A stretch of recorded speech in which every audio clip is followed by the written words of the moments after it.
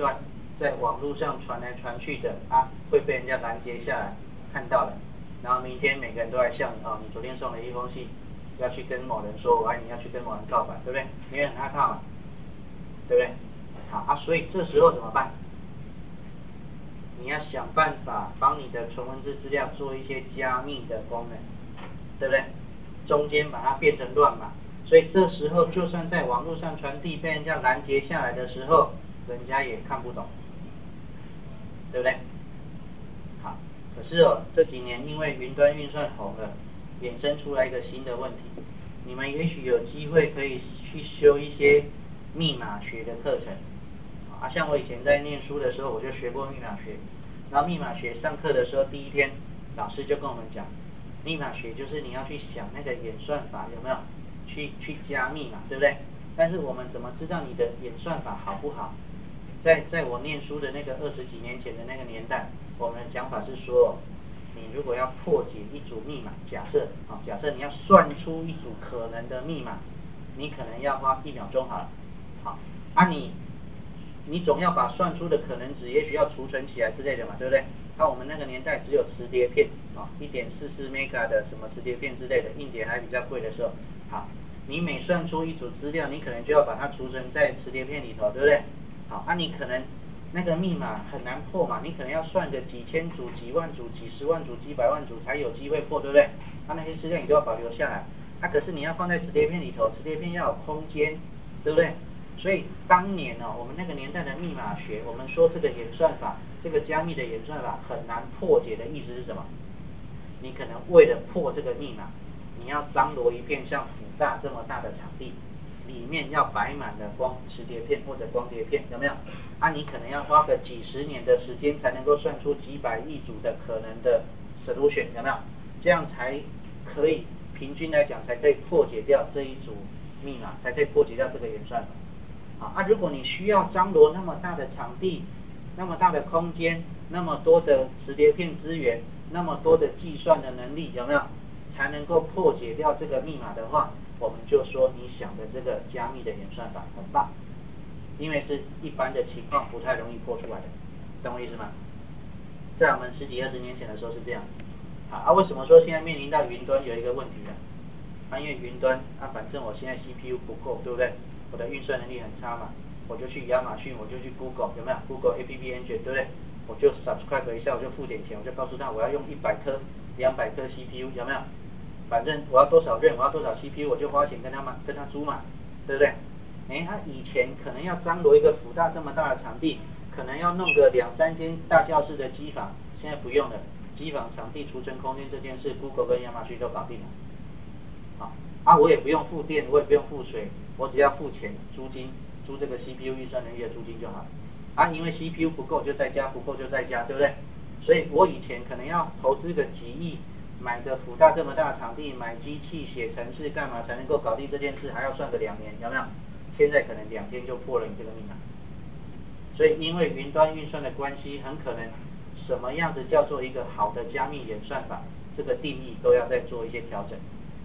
啊，所以可能到最后又会变成告诉你，你今天想要在 Google 上面做那个写程式，对不对？用 Google A P P Engine 写程式等等，对不对？你可能要先签署一个合约，你不能够拿这个拿这个 Google 的 A P P Engine 来破解银行的密码，不能够拿它来来来制造原子弹等等，有没有？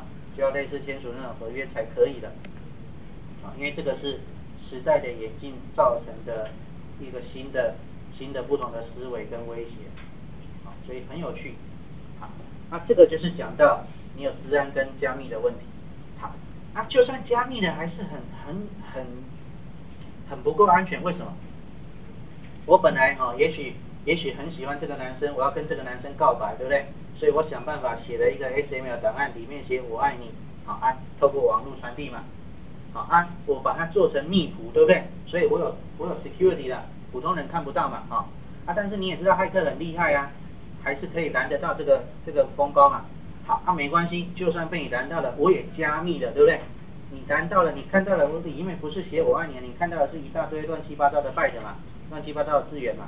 可是你也知道，骇客还是比你厉害啊，骇客还是可以翻出来破解掉那个叫我爱你啊，对不对？好，那万一骇客很贼怎么办？万一骇客也很喜欢这个男生，好啊，他故意拦下来我的封包之后，发觉到我写我爱你，他就把它改成我恨你，他加密之后再寄给这个男生，那怎么办？这个男生就变得很恨我，对不对？他不行啊，所以我们要有电子签章，有没有？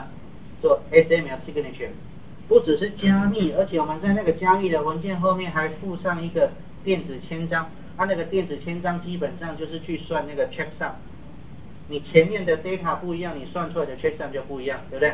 那因为我爱你算出来的 check sum 应该是要跟我恨你算出来的 check sum 是不同的，所以这时候你如果把前面的字串篡改成我恨你的时候，我们一验证签章不对，我们就知道这个东西被偷改过。这个东西不是我发的，所以他就不会恨我了。啊，所以每个技术每个技术其实都是有连带关系的。啊，那你要做电子签章，其实你你如果去修密码学，你就会学到什么 PKI，学到什么 Public Key、Private Key，对不对？所以你就会需要有那个 Key 去算出一组密码，去加密嘛等等嘛，对不对？好啊，所以那个密码怎么样管理？就像你平常。有 Facebook 的账号密码，有 Google 的账号密码，对不对？啊，有平常辅大给你的 email 的账号密码，有没有？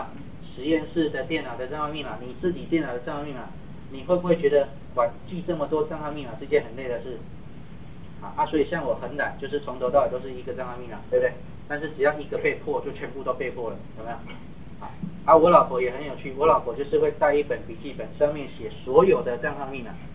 啊，这个跟没写是一样的，因为只要那本笔记本丢了，也是全部都被破了，对不对？对啊，所以怎么样去好好的帮你管理各式各样的 key 有没有？管理那个加密的 key，这其实是另外一件很重要的事。所以网络上也有一些软体专门在帮你记录 Facebook 的 key、胡乱的账号密码等等，有没有？自动帮你做登录等等的。对，啊，可是我有时候用久了之后，就会觉得那种东西就跟手机一样。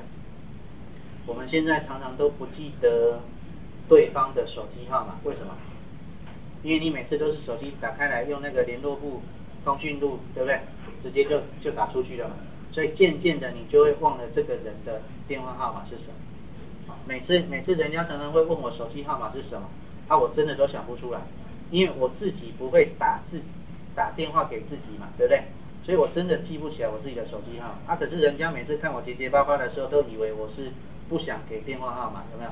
其实不是，是因为我自己真的记不起来。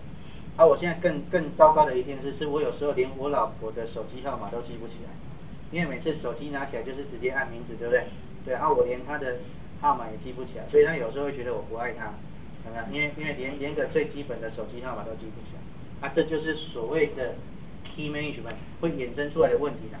有一个东西帮你管 key，帮你管账号密码管得很好之后，你渐渐的会忘掉很多事。好啊，那个东西如果不见了，就反而很惨。这个是 SML 这边你要注意到的。SOAP 这边啊，基本上就是用来做讯息交换的。那它讲的很抽象、很空洞，你看算力比较快。你如果写过 SML 档案的话，这个档案其实看起来还是 SML，对不对？但是它跟你平常看过的 SML 档案有什么不同？它一样是 tag 啊，它有开头的 tag 就有结尾的 tag，对不对？它 tag 里面可能有属性嘛，属性里面可能有值，只要用双引号、单引号刮起来都都一样嘛，对不对？但是这个档案跟你平常接触过的 SM 档案有什么不同？就是那个 tag 名称好像怪怪的，好像没有看过，对不对？好，啊为什么？因为这些 tag 名称啊，我们 SM 的档案 tag 名称都可以自己定义嘛，但是你要交换讯息呀。你定的 tag 名称，对方要看得懂啊。对方写的 tag 名称，你也要看得懂啊，对不对？所以我们要用同一种语言来讲话嘛。我们要用同一组 tag 来跟人家沟通嘛。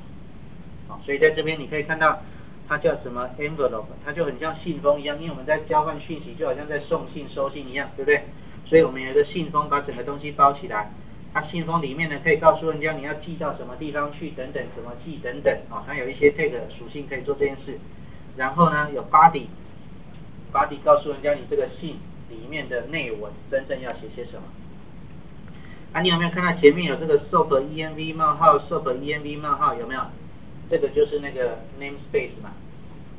那 namespace 其实是个网址，所以你其实